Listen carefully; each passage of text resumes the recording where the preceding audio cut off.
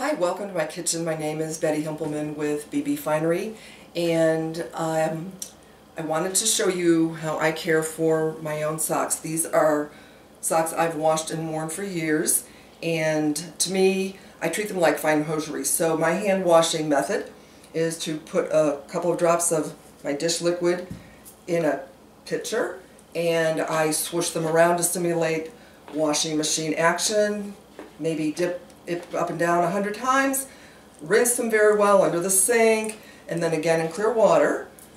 Then I lay them out on my towel here on the kitchen counter, roll them to get out as much moisture as I can, and then I take the clean socks and hang them over a towel bar or a hanger. When I'm wearing an anklet, like I am today, I will use a mesh bag and throw them in the wash machine. You can do that with your longer lace socks as well. And then when you take them out, you just want to move them with your hands, smooth them out. Don't put them in the dryer and then lay them flat to dry again.